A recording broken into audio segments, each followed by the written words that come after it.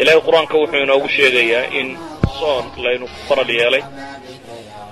Sidii ummadihii innaga inagu horreeyeyba loogu farad yeelay oo aanay wax keliya inugu ahayn. Sababta loo faral yeelayna ilaahay subxaana wa tacaala wuxuu ku tilmaamayaa lacallakum tattaquun. Ina alle ka cabsataan subxaana wa tacaala daraaddeed. Yani waxaa ilaahay inoo tilmaamayaa danta soonka laga leeyay iyo qaradka ugu weyn ee soonka looga jeedaa inuu yahay in la gaadhsiiyo dadka mansilati taqwa ama alla ka cabsi subxaana wa tacaala. Alla ka cabsiguna waxaynu odhan karnaa waa gaayat alghaayaat. Waayo ilaahay qur'aanka wuxuu ku leeyahy wamaa khalaqtu ljinna waalinsa ila liyacbuduun. Jinka iyo insiga uma abuurin inay caabudaan mooyaane.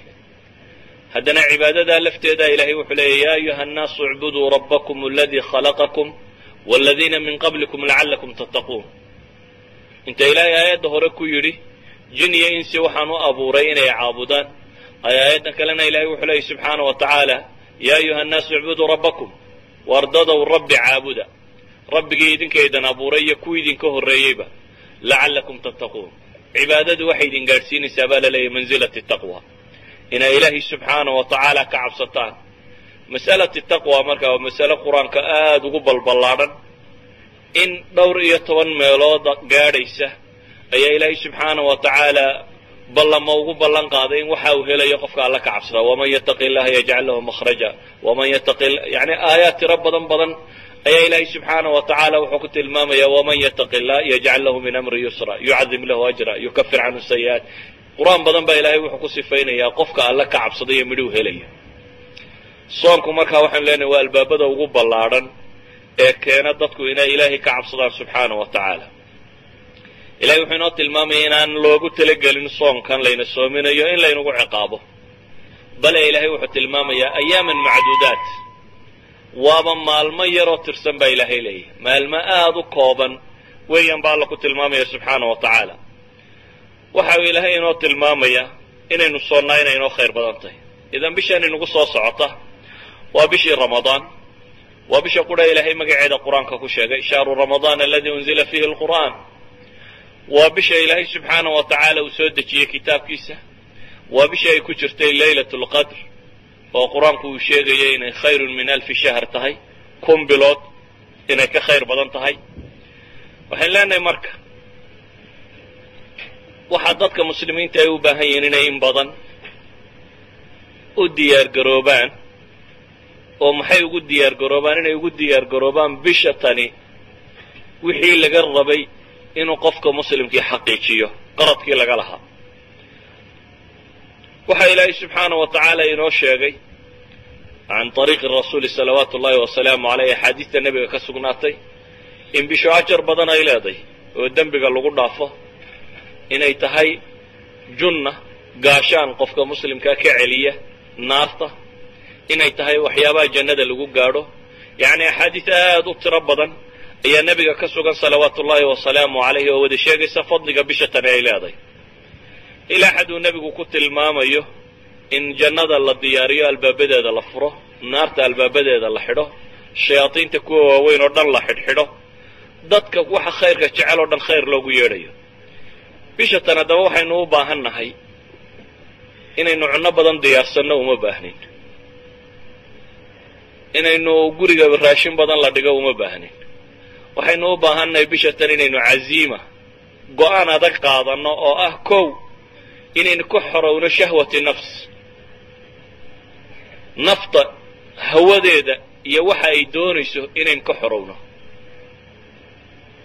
Oo aynu baranno in nafta lagu xakamayn karo ilaahay abuurtay waxa uu faray. Laga fogayn karo wixii macsiya dhammaanteed waayo bisha tani.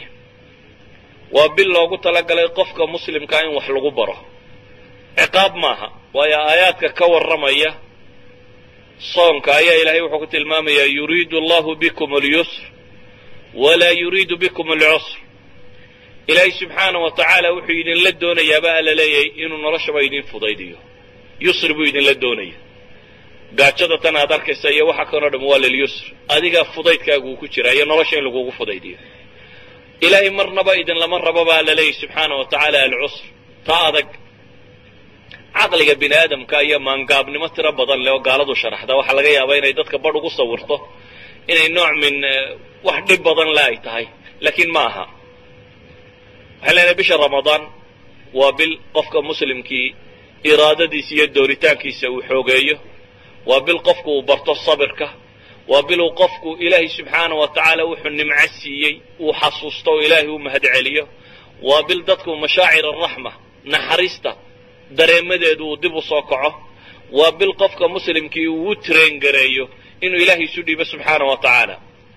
Walidalik ugu horayn ilahay qur'aanka wuxuu ku tilmaamayaa ara'ayta man ittakhada ilaahu hawaah afa anta takunu calayhi wakiila am taxsabu ana aktarahum yasmacuuna wayacqiluun ilahay wuxuu leeyahy ma waxaad u malaynaysaa kuwa kan hawadooda yacni ilaaha ka dhigtay hawada ilaaha laga dhiganaya waa maxay naftu waxay ku tidhaahdun haddaad daba gasho dee iyadaa ku amarta waxay sheegtaba haddaad u fuliso waxay doonto inaad raacdo iyadaa markaasi ku amarta kuwa ilaahay wuxuu ku tilmaamayaa intooda badani ma inay wax maqlayaan baad moodaysaa baa leeyihi ama wax garanayaan waa xoolahoo kale baa ilaahay leeyihi bale xoolaha ka dariiqo fiican. Ugu horayn caloosha tan la buuxinayaa ee insaanku inta badan buuxinayo faa'iido badan ma leh. Dhibta maanta taaganna waxaaba ka mid a un dadku waktigii wax la cuni jiruun bay bedelaane cunnadaba inay ramadaanta badsadaan baad moodaa. Asalkuna wuxuu ahaa in cunnada ramadaanta qofku iska yareeyo. Waxaa loo soomayaa kow ilaahay subxaana wa tacaala inaad ku caabudo in la yskaga yareeyo ramadaanta cunnada tan. Waayo cunnadu sideeday u tahay xanuun. Nebigu salawaatu ullaahi wasalaamu calayhi axaadiista ka sugnaaday waxa uu ku tilmaamayaa maa mala bnu aadam wicaa'an sharun min baطni sharan min baطni insaanku weelba ma buuxiye buu nebigu yidhi ka shar badan calooshiisa calooshii markay buuxsanto kibir baa bilaabma. Markay buuxsanto shahwaatu nafsiga dhan baa bilaabma. Markay buuxsanto wax badan baa bilaabma. Nebigu wuxuu leeyahay calool wax ka shar badan loo la buuxiyaaba ma jirto. Ee bixasbi bni aadam ukaylaat wa fii bacdi riwaayaat luqaymaat. Bini aadamka waxa ku filan buu nebigu yidhi waxoogaa yaroo la rururo oo yuqimna biha salba. Uu dhabarkiisa ku toosista un haddii aan cunno la daynin buu nebigu yidhi salawaatu ullaahi wasalaamu calayh cunnada saddex meelood oo meel ahaan calooshaada saddex meelood oo meel ahaan cunno ku rido. Saddex meelood oo meel ahaanna sharaab ka dhigo. Saddex meelood oo meel ahaanna neef neefsigaaga u daayla waad cifanaysa haddaad aragto xataa neefsan kari mayside idan waxa uu nebigu tilmaamayaa inaad cunnada isku badinin ee calooshaadu wixii ay qaadi karaysa saddex meelood oo meel qudha inaad cunno ka dhigato. Meesha kalena inaad sharaabkaaga iyo biyahaaga iyo wixii aad cabaysa ka dhigta meelna mar walba inay ku bannaanaato dheragta badan waxay keentaa qofku aan caqligiisu si fiican u fakerin waxay keentaa qofka oo seexdo oo active noqon waaya. Yacni qofku oo caajiska ku bato. Waa idinka arkood duhurkii markaa dadku caloosha buuxsado hurdaa la wada daataa. Sababta keenaysa waxa weeyaan qofku ma waxa ka lumaya xataa nashaadkii waxaa loo baahan yahay oo qofka muslimkaa la faraya. Xataa waxaa la yidhahdaa dunida markay dheragtan iyo cunnada kan kala noocnooc iyo waxaan la isku walaaqiyaa tiro badatay ayaa xanuunadan tiro bataynee la socday. Dadka intay cunnadoodu yarayd xanuunkooduna uu yaraa. Markay badatay waxaan la cunayo waxaan la walaaqayo ayuu la batay. Walidalik baa xanuuno badanoo maanta dunida joogaa waxaa la yidhahdaa waa amraad alxadaara bay yidhahdaa waa xanuunadii ilbaxnimadan tirada badan leh iyo cunnadan tirada badan leh ay soo kordhisay sidaa awgeed ilaahi subxaana wa tacaala wuxuu inoo tilmaamayaa bishan inaynu soonno. Oo soonkaasi aynu uga dan leenay inaynu ilaahay ku caabudno marka koowaad. Yacni caafimaad caafimaadkiiyo waxani waa meel dambe. Waxaa u horreeya inaad ilaahay ku caabudayso. Sidaa awgeed buu nebigu wuxuu leeyahay xadiidkii uu tilmaamayey yatruku طacaamahu wa sharaabahu min ajli. Xadiisulqudsiga ahaa. Ilaahay baa wuxuu leeyahay qofka muslimka ahi cunnadiisa iyo cabistiisaba aniga dartay buu u iga tegey. Saa awgeed camal kastoo bini aadamku leeyahay isaga ayaa iska leh soonka mooyaane soonka anigaa gaaru le baa la leeyahy subxaana wa tacaala si gaarana uga abaalmarinaya. Waxaan leenahay qofku wuxuu ugu jeclaa hadduu awoodi karo inuu xakameeyo o ilaaliyo oo ah cunnadii iyo cabistii iyo wixii. Hadduu awoodi karo inuu ka baxo ma'luufaadka insaanku barashadu waa dhib. Waxaa laga yaabaa wakti aad koob shaaha cabi jirtay waktigii marka gaadho waad iska xasuusanaysaa isagaan wax badan oo nafciiba kuu taraysa waayo waad baratay waxaa ulfiga la yidhaahdaa aad buu u dhib badan yahay. Walidaalik ramadaantu waa madraso ama waa dugsi tababareed oo ilaahay ugu talagalay basharka muslimiinta ah oo dhammi inay galaan. Qof waliba maalintaasi inuu gaajoodo si uu u barto waxyaabo badan oo khayra. Kow wuxuu baranayaa soonku waa junna buu ku tilmaamay waa gaashaan. Gaashaan wuxuu ka yahay min ismi dunya wa cadaabi alaakhira. Adduunka dembigiisuu gaashaan ka yahay adduunka dembigiisa wuxuu gaashaan uga yahay qofku. Waxyaabo badan oo shahwaatu nafsigaa waxa keenay dheragtan iyo cunnadan badan sidaa awgeed buu nebigu salawaatu ullaahi wasalaamu calayhi markuu dhallinyarada la hadlayey waxa uu tilmaamay yaa macshara shabaab man istataaca minkum ulba'a falyatazawaj war dhallinyaro ninkii guursan karaa buu nebigu yidhi salawaatu ullaahi wasalaamu caleyh ha guursado. Qofkaan guursan karin muxuu samaynaya? Ilaahay subxaana wa tacaala shahwa nafsiya buu qofka bini aadamkaa ku abuuray rag iyo dumarba. Laakiin muxuu samaynayaa qofku waxa uu nebigu u tilmaamay cilaaji dhab ah dawo dhab ah oo nafta lagu xakameeyo. War ninkii guursan kari waayo soom buu nebigu yidhi salawaatu ullahi wasalaamu calayh fainahu aqadu lilbasar wa axsanu lilfarj kii hore ee guurku intaa horaa lagu sheegay waman lam yastatic waxaa la yidhi facalayhi bisom faina lahu ijaab shahwaatu nafsigoo dhan waxa xakameeya waa soonka maadaama uu yahay soonka waxa xakamaynaya waxaa loo baahan yahay qofka muslimka ahi si uu iraadadiisa iyo doonistiisa uu tababaro.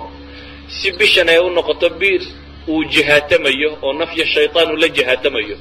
Bil ay u noqoto uu rabo inuu ka xoroobo wax allaaliya wixii caado sayi-a u lahaa iyo xuma u lahaay oo dhan. Bil la rabo inuu jidhkiisa tarengareeyiyo naftiisaba oo uu ku tarengareeyo ilaahay daacadiisa oo maalintii inuu soomanaado oo cunno la aado oo uu afkiisa xidho oo uu ishiisa xidho oo uu dhegtiisa xidho wixii macaasi oo dhan ka xidho. Yani intaad afkuun xidhato oo cunnada iska dayso haddanaad wax caydo wax maagto kan samayso ma aha waxaa la rabaa qofka muslimkii inuu bisha tan ku barto sabirka waxaa la yidhahda dhammaantii. Sabir dhammaantii. Sabirku waa wax la ysbaro walidalik buu nebigu salawaatu ullaahi wasalaamu calayhi axaadiis badan waxa uu ku tilmaamayaa waxa looga baahan yahay qofka muslimkii inaanay ahayn oo qura inuu cunnada iska daayo. Qur'aanka ilaahay wuxuu inoogu tilmaamaya ya ayuha aladiina aamanuu isbiruu wasaabiruu waraabituu war dadka mu'miniinta ahow sabra oo la sabir dhigta baa la leeyahay naf iyo shaytaan iyo gaalaba. Yani cidda cadowgaagaad is haysaan maaha cadow fudud oo maalinta u horraysaba jabaya ama shan casha markaad soontaba aad ka takhallusaysa maaha waa cadow isna kuu sabraya muraawada kugu samaynaya oo intaa raba inuu dib kuu celiyo. Idan waxaa lagaa rabaa inaad la sabir dhigatid oo sabirkaagu uu noqdo mid tiro badanaya. Walidaalik bishani ma aha saad dadka badhay u fahmaan.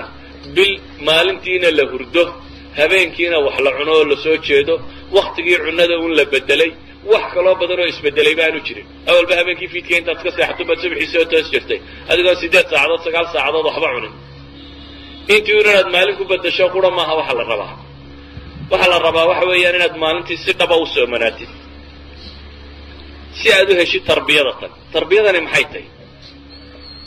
Waxay tahay askariga caadigaa marka la tababarayo. Looma sheeg sheego war hadal ah. Lama yidhaahdo un qoriga saasaa loo cabaya saana waa loo ridaa. Cadowgu markuu intaas ku soo jirsadaa la ridaa buuraha waa la koraa meeshii kaa soo horbaxda saasaa looga baxaa biyaha waa la iska daayaayo waa la yaraystaa intaa haddaad nin u sheegto ma u malaynaysaa inuu ku dagaalgelayo tidhaahdo waa lagu tarengareeyey haddaba front line ka qabo oro dagaalka gal xabadana saasa beerkaa dhulka la dhigaa cagaana waa la isku duwaa. Waa ku kaa dagaal tag haddaad tidhaahda ma ku dagaal tegaya. Waa maya. Naftaada iyo meeshay u jilecsantay goormaad ogaan karaysaa waxaad ogaan karaysaa markaad jarribtid ee wax ka tijaabisid.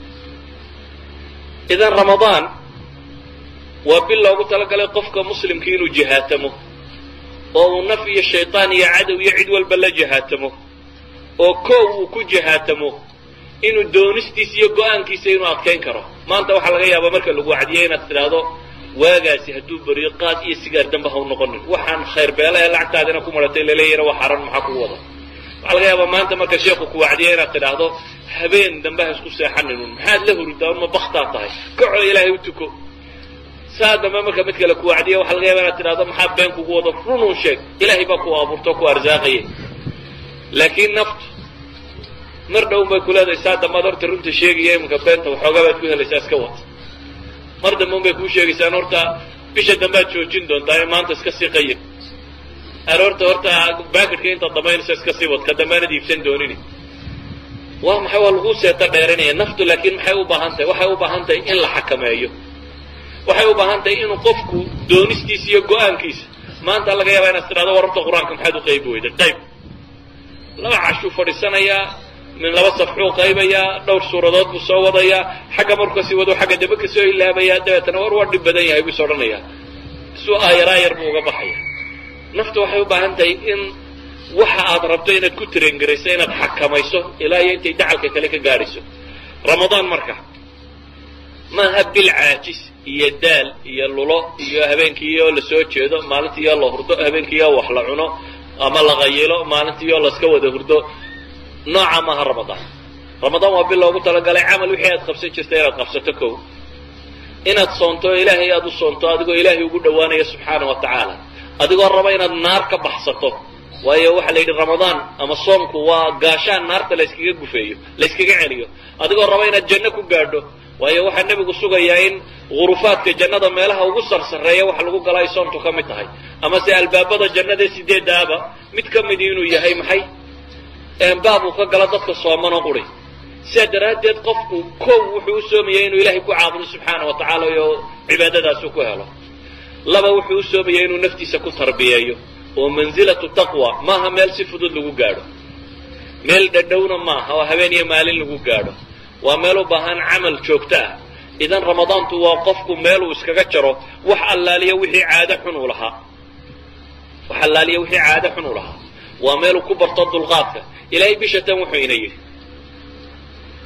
xataa haddii lagaa gardaranyo lagu caayo waxaa lagu yidhi dulqaado nebigu salawaatu ullaahi wasalaamu calayhi muxuu tilmaamayay haddii qof uu ku caayo ama uu ku maago ama uu kula dagaalamo waxaad ku tidhaahdaa buu nebigu yidhi innii saayim laguma odhan hadda iska celi. Asalku waa fajaazaau sayi'atin sayi'atin mislaha laakiin ramadaan waxaa la rabaa in madraso kale lagaa soo saaro. Waxaa la doonayaa in naftatan la baro dulqaadka.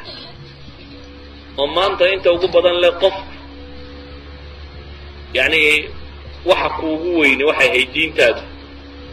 Dadku arrimaha diintooda marka wax la yeelo waaba isaga dulqaataan mid diin caaya mid waxaan samaynaya kuwa sharciga ka tegay qaar isqaawiya wax walba waa loo dulqaadanaya haddii se adiga lagu caayo xawlalmaridada ku kacaya caro daraaddeed. Yacni nafta yar si aad ugu karayso ugu cadhoonayso ilahay kitaabkiisa iyo diintiisaba inaad ugu cadhoon baa laga yaabaa. Ilah iyo rasuulkiisa wax laga sheegaya inaad ugu cadhoon baa laga yaabaa. Laakiin adiga marka wax lagaa sheegaya in xawlalmaridada ku karaan idan si dulqaadka laguu baro laguma odhan waxa kaloo dhan ka dulqaada waxaa lagu yidhi adiga marka lagu caayo haddaba ama se lagula dagaalamo. In qaatalaka ahad aw shaatalak baa lagu yidhi adiga haddii lagu caayo ama lagula dagaalamo waxaad tidhaahdaa buu nebigu leeyahy fa innii saayim war waan soomanahay ku dheh waan soomanay macnaheedu waa maxay? Waxaa la rabaa naftaada in xilmiga la baro dulqaadka. Nebigu wuxuu leeyahy inama alcilmu bitacallum wa inama alxilmu bitaxallum xadiidkii ka sugnaa nebigu wuxuu tilmaamayaa salawaatu ullahi wasalaamu calayh. Cilmigu waa barasho. Qofna intuu meel fadhiisto iskagama soo dego. Ee waa qof habeenkii u soo jeeday oo maalintii daraaseeyey oo sheekhu wuxuu u dhigay ku noqday oo intaasoo kitaab sii baadhay oo masalada isku dayay in isaga u baxdo o u dilaacdo oo wax badanoo waktiya ku lumiyey. Idan cilmigu waa barasho buu nebigu yidhi salawaatu ullahi wasalaamu calayh. Wuxuu kaloo yidhi dulqaadkuna waa bitaxallum waa dulqaadkuna waa barasho isna asalka waxaa jirta naftu inay u dhalato haa waayo nebigu salawaatu ullahi wasalaamu alayh saxaabigu u yimi waa kii ku lahaa. Laba khasloo ilaahay jecel yahay baad wada leedahay. Labadii khaslo ama labadii shay oo uu alla jecelya lugu aad leedahay waxaa ka mida inuu ku tilmaamay xilmiga dulqaadka. Dabeetana wuxuu yidhi makhaslada anu waa iska doondoonaba mise waa kuwa jibiliya waa jibili buu nebigu ku yidhi ilahay baa kugu abuuray. Oo waa abuurkii ilaahay ku siiyey bay ka mid tahay. Dadku asliya wuu kala dulqaad badan yahay laakiin iyadoo la kala dulqaad badan yahay haddana nafta la bari karaa ka dulqaadka yarle wuu isbari karaa nafta wuu xakamayn karaa. Walidalik baa ilahay qur'aanka wuxuu ku ammaanaya waalkaadimiina algayda waalcaafiina can innaas kuwa cadhadooda qarsanaya kuwa dadka iska cafinaya. Ramadaan markaa waxaa la rabaa inay noqoto bilaad nafta tababarto. Oo haddaad hadal badnayd aad hadal badnida iska dayso. Man lam yadac qawla zuuri waalcamala bih falaysa lilahi xaaja nebigu salawaatu ullahi wasalaamu aleyh xadiidkii ka sugnaaday waa kay tilmaamayay ninka aan ka tegin hadalka beenta iyo barkhaati beenaala iyo ku camalfalkiisa ilaahay baahi uma qabo inuu ka tago طacaamkiisa iyo sharaabkiisa. Idan waxaa la rabaa waxa weeyaan inaynu nafta barno sabirka. Inay ka sabirto hawa nafs. Inay ku sabirto ada lgayr dadka kale dhibta ka soo gaadhaysa. Inay ku sabirto takaaliifta mashaqadeeda daacada naftu iyo waxay doonayso ee shahwaata inaad xakamayso. Oo aad ugu horraysiisayba cunnadii iyo wixii la nooc ah haddii markii hore waxyaabaha sharcigu bannayn aad cuni jirtayna dee iyaga aad furabad iskaga tagto. Aad weligaaba dhaafto. Qaad iyo sigaar iyo wixii la nooc aha maalinta ramadaan oo dhan haddaad sigaar ka qatantay maxaad habeenkii u cabbi? Kusii wadunde. Mar haddaad laba iyo toban saacadood uu ku soo dhaaftay ama afar iyo toban saacadood maxaa kugu celinaya maqribka markay gaadho. Maqribkana allihii ku yidhi waa mamnuuc weli waa kuleeyahy waa mamnuuc. Idan jooji sida kuwaas nafta traingaree oo dib ha u celini. Waxaad u baahantahay marka hawa nafsi inaad ka xorowdo dee kuwa jannada galana maxaa lagu tilmaamay? Wanaha nafsa can ilhawa maxaa la yidhi? Qoladaas unbaa maxay ah? Fa ina aljannata hiya alma'wa. Ninka naftu waxay doonayso ka celiya. Qoladaas baa ma'wigoodu janno yahay baa la yidhi marka waxaa laga yaaba ilaa maanta haddii lagu idhaahdo haddaad shan saacadood sigaarka iska dayso ama shan kun oo dollar baad leedahay. Ma u mid sigaar cabo magaalada jooga inuu cabbi lahaa. Shan kun oo dollar la sheego. La waayo nin waliba wuxuu isleeyahy war naftu bal horta meeshay doonta intan ka joojiyo shanta kun horta qaado. Bal ka warran iyadoo lagu leeyahay janna carduha asamaawaatu walardu baad leedahay haddaad iska dayso. Hada ilahay amarkiisa raacdo oo ilahay qur'aanku leeyahay ninkii wanaha nafsa can ilhawa fa ina aljannata hiya alma'wa laleeyahy war nafta hawadeeda haddaad u diiddo jannaa ku ah baa la yidhi degaan. Idan inaad qiiq laga burbursiiyo naftaada waxyeelaya aad dhaafsato janno waa wax aad u dhib badan. Adoo weliba ramadaan jooga adoo weliba jooga bishii cibaadada loogu talagalay adigoo jooga bishii lagugu talagalay inaad nafta rabayso kobciso oo barbaariso oo aad xumo oo dhan ka ilaaliso idan waxaa muhimkii wuxuu yahay inaynu nafta barno asabru can ilhawa inay hawadeeda ka tagto. Oo aad iminka u sii qorshayso siday u joojin lahayd. Inaynu nafta barno inay ada annaas aw ada algayr dhibta dadka ka soo gaadhaysa inay ku dul qaadato inaad barto. Inaad nafta bartid inaad daacada ku sandullaysid daacadu waa takliif. Yani takaaliif bay shareecadu tidhahdaa takliifkuna kulfa waa wax mashaqa ku jirto dhib baa ku jirta. Sidaa awgeed baa culamaai salaf waxa rag ka mida laga sheegaa. Wuxuu idhi labaatan sannadood naftaan ku xakamaynaya buu yidhi inay salaatuleil u kacdo. Labaatankii dambena waan macaansanayay buu leeyay yani labaatankii hore culays bay ahaydoo waan ku qasbayay inay habeen kasta toosto. Markii dambena munaajaatu rabbi alcaalamiin baa dhadhan iyo xalaawo ii yeeshay oo anaaba macaansanayo u baahnaa buu leeyahy naftu waxay u baahan tahay muddo in la xakameeyo la tolo oo la qasbo oo la sandulleeyo oo lagu adkeeyo idan waxaad u baahan tahay bisha tan maalin oo dhan inaad soomanaatid maalin oo dhan inaad wardidid maalin oo dhan inaad xoogsatid maalin oo dhan inaad ilaahay ka baqatid waxaad kaloo u baahan tahay habeen oo dhan inaad taagnaatid. Ramadaantii inaad habeen oo dhan taagnaatid oo ilaahay baridid subxaana wa tacaala inta ugu badan leh. Haddaad nafta aynu ka adkaano ilaahay baa ballan qaaday iyadoo dullaysan inuu u gargaarayo. Walaqad nasarakum allahu bibadrin waantum adilla baa ilaahay leeyahy beder ba ilaahay waa idiin gargaaray baa la yidhi. Idinkoo adilla ah daliilnimadu waa maxay? Waa ummada aan haysanin maxay? Muqawamaat alxarbiya ama wixii lagu guulaysan jiray nimaanu agtiisa oolin. Oo ilaahay subxaana wa tacaala haddana uu gargaarayo. Idan waxayn leenahay xataa macrakooyinkii waaweynaaye muslimiintu galeen intooda ugu badani. Ramadaan baa ilaahay ugu gargaaray xataa cahdigii nebiga. Beder baa ka mid a fatxu maka ka mid a yacni ilaahay subxaana wa tacaala iyagoo sooman ayay u dirirayeen oo u dagaalamayeen. Oo alla subxaana wa tacaala u gargaarayay. Waxaynu markaasi u baahan nahay inaynu isticdaad u sii samayno bisha tan ramadaan oo ah inaynu ku talagalno naftan inaynu rabayno inaad naftan gaadhsiiso mansilatu taqwa mansilati taqwa halkay ilaahay kaga cabsan lahayd halkay qur'aanba ku fahmi lahayd waayo qur'aanku iyuu wax u taraa dalika alkitaabu laa rayba fiih hudan lilmuttaqiin baa ilahay yidhi. Kitaabkaas qur'aankaa wuxunbuu hanuun u yahay ayo yuu huda u yahay hanuun yuu u yahay tilmaame yuu u yahay lilmuttaqiin baa ilahay leeyahy subxaana wa kuwa ilahay ka cabsada. Ahlu taqwuna waa kuwan qur'aanka ilaahay aayaad ka dambeeya ku sii sifaynayo waxaynu markaasi leenahay soomku waa nafta oo la tababarayo. Ee waa inaynan ku talagelin bil hurdo badan iyo cuno badan iyo cajsi iyo kasli lagu sita. War cajsiga iyo kasligu waa bukaanadu nebi moxamed ilaahay ka magan geli jiray baa marka horeba. Inaad bishii cibaadadaad u xidhxidhaan lahayd cajsi iyo kasli ku galaan oo aad noqoto qof intuu shaqadiisii ka tegay seexday inuu yidhaho waan soomalo habeen iyo maalinba meel u kuurinaya inaad ahaato. Cajsigan iyo kasliga kani waa wixii marka horeba nebigu salawaatu ullahi wasalaamu aleyh ducooyinkiisii maxaa ka mid ah? Allahuma ini acuudu bika min alcajsi waalkasl ilaahay o adaan kaa magan galay buu lehay caajisnimo iyo kaslaannimo daal iyo waxa nooca. Adaan kaa magan galay. Idan bishaadii cibaada inay noqoto wixii alla uu nebigu ka magan gelaya waa wax foolxun idan bisha tan waa inaynu ku talagalnaa inay noqoto bil aynu u diyaar garowno. Inaad askarinimo marayso. Laakiin askarinimo xaggaad u maraysa askarinimo janno lagu galaad ku socotaa oo naar lagaga xoroobo.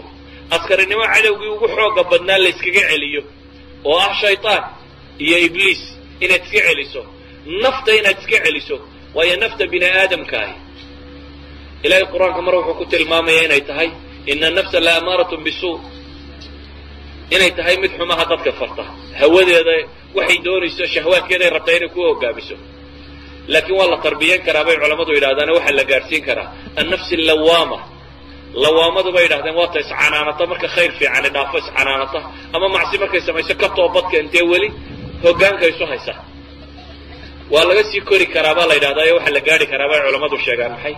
Annafsi almuطma'ina yaa ayatuha nafsu lmumaina kuwa ilaahay qur'aanka uu ku tilmaamayo oo ah tu ku xasishay ilaahay dikrigiisa macaansato ama mashaqiya dhibba ku ahayn alaa bidikri illahi taطma'inu lquluub iطmiinaankaasi gaadhay dhadhan ay u samaynaysaa cibaadadu iimaanka xalaawadiisa dhadhamiyey waayo nebigu salawaatu ullahi wasalaamu alayh wuxuu tilmaamayaa iimaanku inuu acmi leeyuu sheegay dhadhan inuu leeyahy bale inuu xalaawo leeyahy daaqa acma aliimaan iyo daaqa xalaawata aliimaan labadaba axaadiistu waa soo arortay dhadhanka iimaanku leeya in la dhadhansado waaba macaanu macaanka in la dhadhamiyo.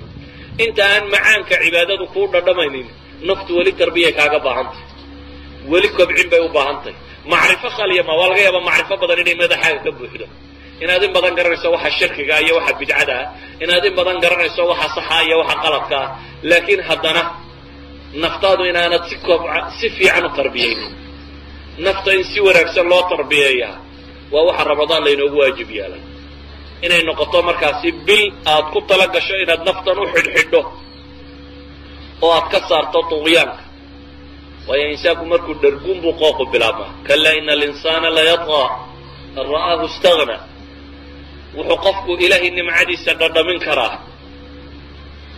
Marka aad dareento gaajada iyo daalka iyo alamka iyo dhibta markaasay nimcadu dhadhankeedu leedahay ilahay wuxuu ina leeyahy wamaa bikum min nicmatin fa min allah. Wax allaaliya waxaa nimco haysataan xagga allay ka timid. Laakiin nimcadu marka la waayaabaa dadku dareemaa. Hadda waad caafimaad qabtaa. Caafimaadku qiimo kulama laha. Ama se ugu yaraan ma xasuusnid inaad caafimaad qabto xataa inaad tidhahdo alxamdu lilah ilah wadaa caafimaadkiisiiya ma xasuusin laakiin markaad isa soo dul taagto mid ay ka sii baxayso. Ama aad aragto mid taahayo sakaraadsan ama aad dakhtarka tagto aragto dadkan jiif jiifa iyo say tahay markaasaad waxaad dareemaysaa nimcadaad haysaynaysay. Waxaa laga yaabaa adigu markan inaan waxoogaa shilimi jeebkaaga ku jirin inay ku cadho gelisayba. Aad leedahay saakao dhan waa kalahsana wallahi shilin ma soo qabanin. Intaa un inaad la xanaaqsan tahay.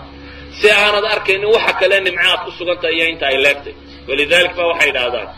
Masalan sixadu bay idhahdaan waa taajun fii ru'uusi lasixa bay idhahdaan caafimaadku bay idhahdaan. Waa taaj saaran maxay? Kuwa caafimaadka qaba. Laa yaraaha ila almardaa bay idhahdeen laakiin ma arka bay idhahdeen kuwa buka mooyaane. Adigu taajkan caafimaadka ku saaran arki mayside kan liita ee taa haya ee baahan baa arkaya. Kaagan durdurinaya iyo wuxuu nimco haysto. Idan ramadaan waa biluu qofka muslimkii wixii ilaahay nimco siiyey uu dareemo. Markaad gaajooto waxaad garanaysaa dadkii gaajadu haysay. Markaad harraaddo waxaad garanaysaa harraadku dadku hayay. Markaad daasho waxaad garanaysaa dadka daalku hayo.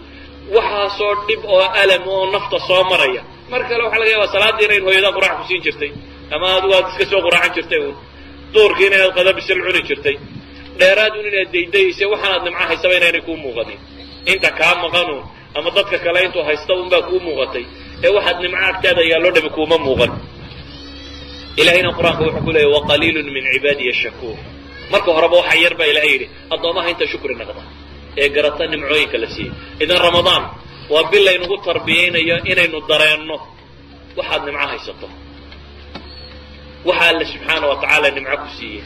Ee maal leh ee guri leh ee hoy leh ee nabad leh ee cibaada leh. Waxaad haysato.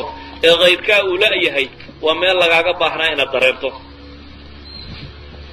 Sidaa awgeed ramadaanku waa bil gaajo dadkao dhan la wada saaray ama xoolo lahow ama xoola halaalin ama faqiir ahow ama qani ahow ilahay wuxuu yidhi intaasoo saacadood waa la wada qaqanaanaya qof waliba gaajada waa baranaya kii xoolo lahaa iyo kaan xoolo lahaynba dadkao dhan waxaa la leeyahy waa muwaasaat fi lxirmaan yani baahidaa laydinku walaalaynaya si aad u garata maxay?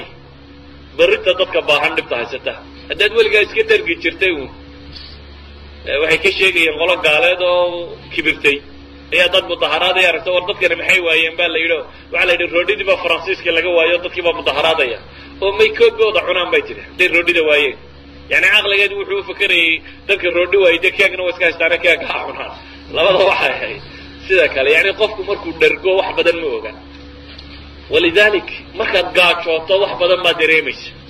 Waxaad dareemaysaa masaakiinta iyo inaad u naxariisato waxaad dareemaysaa inaad ka mid noqoto inamaa nuطcimukum liwajhi illahi laa nuriidu minkum jazaan walaa shukura inaad noqoto kuwa ilahay la wayuطcimuuna aطcaama calaa xubihi miskiina wayatiima waasiira inaad ka inaanad ka mid noqonin kuwa ilaahay lahaa walaa yaxudu calaa طacaami lmiskiin qaar baa ilahay wuxuu ku ceebeeyey ma quudiyaan lama odhan ma dhiiri geliyaan baa la yidhi iyagu masaakiinta in la quudiyo waayo dadku saddex unbuu uqaybsayay mid wax haysta mid aan waxba haysanin ka wax baryaya mid baa jira aan waxba haysan laakiin kuwa haysta wax ka siin kara.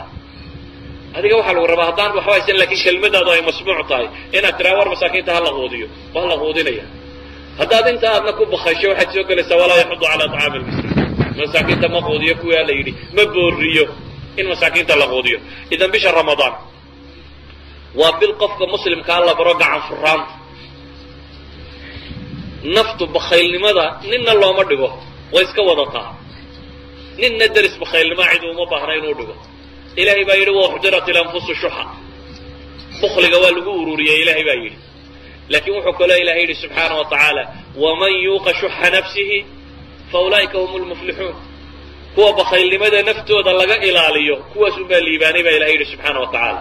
Si awgeed baa bishastan waxaa lagu tilmaamay inuu nebigu ahaa maxay? Ajwad bilkhayri min alriixi lmursala bay yidhahdaa bishatan nebigu dabaysha babanaysa gacantiisu way ka dheerayn jirtay. Isagoo nebi moxamed salawaatu ullaahi wasalaamu calayh weligiiba wax la weydiistay maya aan odhanin. Qofba aan may ku odhan wax ku siin maayo qofnaba aan ku odhan.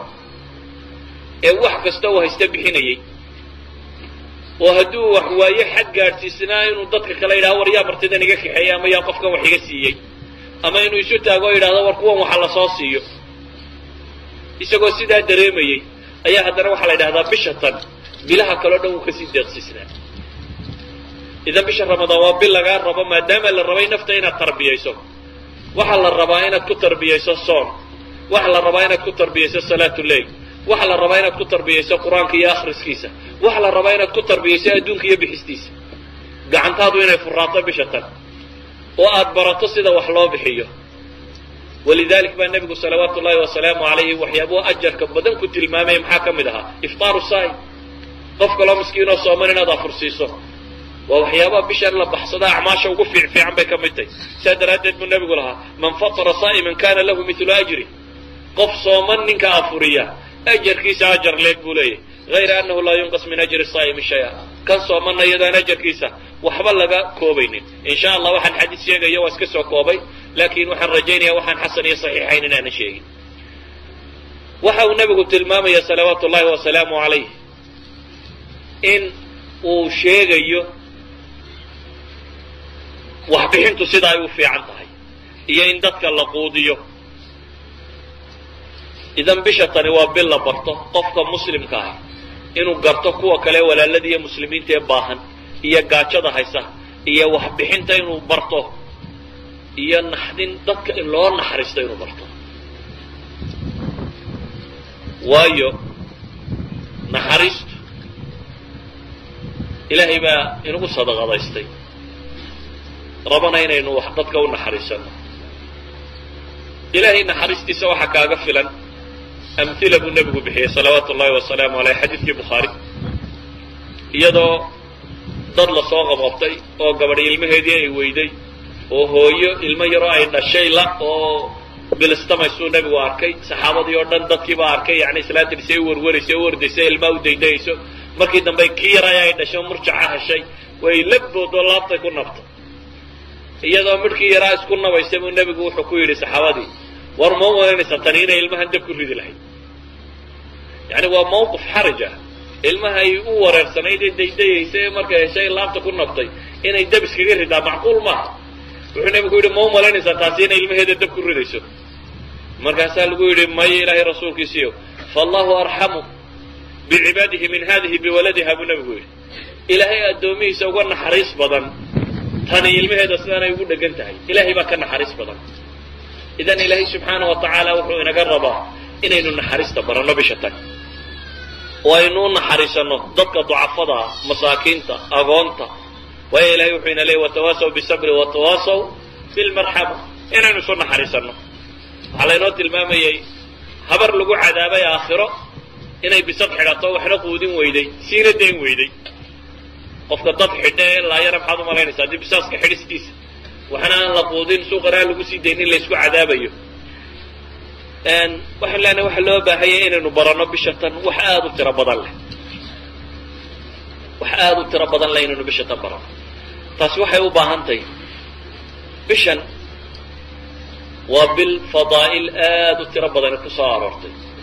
Isticdaadka inooga baahan tahay waa maxay? Waa inaynu is-ogaysiino oo u diyaar garowno. Maxaynu u diyaar garoobaynaa? Waa inaad u diyaar garowdaa bishaas si aad ilaahay isugu taagi lahayd. Ee soddonkaas marnaba kow taraawiixdii hortaa dambaysee salaad waajiba inaan faralkeed ku dhaafin. Dadka waxaan arkaa oo taraawiixda u dadaala oo in badan salaada subax jamaceed uu ka tegayo. Taraawiixda oo dhan hal salaad subax baa ka fiican. Salaad subax iyo jamaceed baa ka khayr badan. Taraawiixda saa daraaddeed kow bishan mar haddaad dadaalayso horta shantii faralka ahaa iyo jamac ku tukashadoodii inaad ka dalaasho iyaga waa meel dhigtaan ku wada hadal yeelaan. Intaa kadib waa inaad isku daydaa inaad salaatu leilkaaga u kacdo ama taraawiix ku soo tuko ama keligaa guri ku tuko ama mar dambe tuko ama mar hore tuko. Mar waliba waa kuu bannaantay inaad salaad badsato inaad qur'aan badan akrido nebigu salawaatu ullahi wasalaamu aleyh qur'aanka akhriskiisa wuu laazimi jiray. Laakiin bisha ramadaan wuu ka badnaa. Walidalik ba xataa jibriil intuu u yimi ayuu bilihii ramadaan laba jeer buu la subciyey tii u dambaysay nebigu geeriyoonaya wuxuu la subciyey maxay? Laba jeer buu bisha ramadaan la subciyey idan qur'aanku iyo akhriskiisu xoogsigaynu xoogsanoo dhan wuu dhaaba kuma intuu subax walba ka laho neef geela oo ama hadda dhalay ama iminka foolanaysa soo shaqaysta. Waxaa laga yaabaa neefka geela foolanaysa waa imisa? Saddex boqol iyo konton dollar meelahaasay sariimada ka maraysaa baan u malaynaya ilaa saddex boqol oo dollar wixii ka badan bay joogtaa. Hal aayadoo ad akrida buu nebigu yidhi. Taa geelee dhalaysa hal aayada baa ka khayr badan buu nebigu yidhi. Laba ninkii akriyaana laba geeloo dhal ayuu soo shaqaystaa la yidhi saddex ninkii akriyaa waa saddex. Waa xadiis saxiixa. Oo miyaanad awoodi karin faatixada haddaad akrido macnaheedu waxa weya toddoba geeloo dhalay baad shaqaysatay qiimahood. Imisaad markaa isku dayaysaa inaad shaqaysato? Yani waa inaad qur'aan akriskaagii bataa. Weliba ramadaan waa inuu ka sii bataa waktigii kale intaad akriyi jirtay. Ramadaan waktigii kale intaad akriyi jirta waa inuu ka sii bataa. Ood weliba habeenkii isku daydaa inta badan haddaad qaybsan tahay inaad salaadaha ku tukato waxba kaa xumaan maayo xataa haddaad jisca muun hayso. Ragcad walba soddon jisca moo dhan ba wada akri koob iyo toban kaaga ragcadoodba haddaad doonto koob iyo toban jisc ma ku tuko maxaa kaa xumaanaya? Inaad badsato baa muhima qur'aan badan inaad akrido oo aad laazimto ayaa muhima waxaa muhima inaad salaad badan tukato. Waxaa muhima nafta inaad ku rabayso inay bisha tan xumo oo dhan iska dayso haddaad cayb badnayd haddaad kaftan badnayd haddaad hadal xumo badnayd waxaasoo dhan inaad ka guurto. Idan waxaan leenahay waxaynu u baahanay training baynu gelaynaa inaad trainingkan u sii xidhxidhanno. Oo intaanay bishu bilanin inaan qorshayno maxaa aan ku talagalay bishan ina qabto? Imse salaadood inaan habeenkii tukado? Maalintii inaan wardi intee leeg akhristo? Inaan intee soomo? Yani waa inaad ku tala gashaa bishu intaanay bilanin qorshahaaga o dhan awraaddaad akriyi lahayd iyo adkaartaad akriyi lahayd iyo sidaad u cibaadaysan lahayd waa inaad ku tala gashaa. Waa inaad ku tala gashaa bisha tan war waa nimco waa tijaara waa mawsim waa wakti aad u baahantay inaad ilaahay subxaana wa tacaala la tijaaraysato. Waktigaasi si aanu kuu dhaafi lahayn isticdaadkeed waa inaynu dhammaanteen samaynaa walidalik ba waxaa laga sheegaa salaf lixda biloodee ramadaan ku xigtana bay yidhahdeen waxay ku ducaysan jireen bacd rijaali salaf saa laga soo aroorinayo lixda biloodee ramadaan ku xigtana waxay ku ducaysan jireen ilah u wixii aanu ramadaan cibaado samaynay naga aqba lixda ramadaan ka horaysana ilahu nabadgelye nagu gaadhsii bay ku ducaysan jireen ramadaan una ilaahu aanu gaadhno innaga yaa ku ducaysta ilaahu ramadaan i gaadhsii war awal caawa ramadaan ma bilatay maynu isweydiinaa mise may bilanin habeenka ugu dambaysa war ma ramadaan yani kaanamaa aan wax kuu soo hoyan kaanamaa aan wax weynba ahayn waxaanaad rajaynaysaa. Waxaan rajaynayaa in sha allahu tacaala inaynu nafteenna ku talagalno inaynu tarbiyayno. Kuwa inoo dhow inaynu tarbiyayno. Dadka muslimiinta o dhan inaynu rabayn karno. Ducaad inaynu noqon karno. Ilahay dadka ku xidha. Raa'id nin sahan taga wuxuunbaa u khayr badan. Ninka tolkii jannana u soo sahamiya naarna uga soo diga sahan la dirto oo geedi ka daba guuro kaunba ugu roon. Tol iyo qaraabiya ciddaad garanaysaba inaad xaggaa ugu sahan tagtid. Aad isku daydo inaad janno u rabtid oo naar ka fogaysid. Aad isku daydid shaytaan iyo ibliis iyo gaaliya intay la halmaasha inaad ilaahay u baridid inaad ka xoroobi karto oo aad ka guulaysan karto.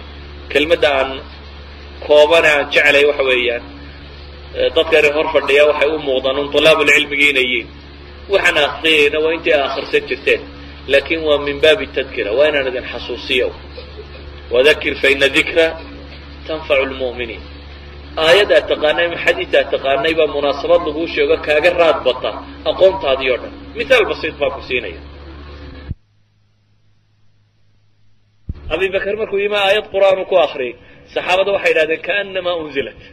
In iminkuu la soo dejiyaanu moodaynay wamaa muxammadun ilaa rasuulun qad khallat min qablihi rusul ma aan garanayn baa jira miyaanay qur'aanka ku jirin maya waa markaad u baahnayd oo lagu xasuusiyo idan cilmigu intiisa badani ma aha tulaabulcilmi marka loo sheegayo cilmi jadiida idinma akrinayo ama nusuusaydan aqoon idinma akrinayo laakiin in sha allah waxaan rajaynaya waktigii u baahnaa inaynu xasuusanno in alla ka dhiga inaynu isxasuusinay wallahu aclam wabilahi tawfiiq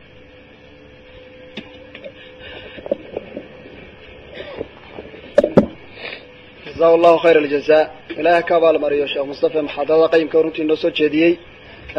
Waxaan runtii aan idin xasuusin lahaa inay dumarku ayagu horeeyaan oo inagu aynu yar joogno haddaynu raggii nahay intaasaan idin xasuusin lahaa. Inagu rag ahaan dumarkaa inaga horeynaya iyagu ha horeeyaan aniguna kelimad baan idin xasuusin lahaa bisha ku saabsan. Waxaa badatay dadku inay maalmo kale nooca soomaan waxa habboon in la wada soomo dadka meesha qura wada deganay maalin keliya. Ramadaantu inay maalin qura noqoto. Labada qowle fiqiga culamada ka sugan labadaba rijaal salafa ku tegey rag waaweyn baa ku tegey rag la yaqaan baa ku tegey labada qowlba in sha allahu dhibi kuma jirto middaa doonto tarjiix. Laakiin midnaba ma banaynayso in laba casho la kala soomo.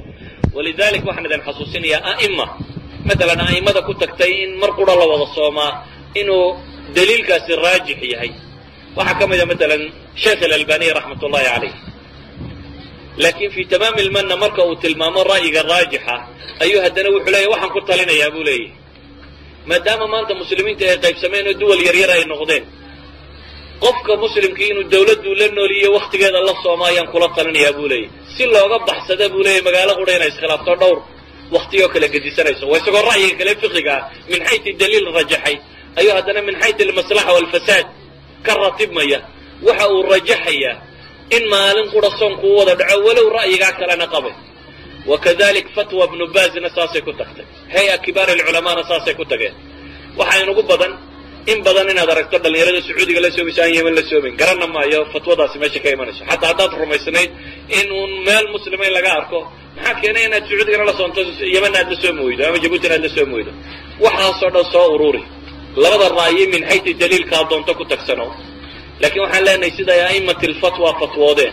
Waxa habboon inay dadka magaalada wada degani maalin qura wada soomaan.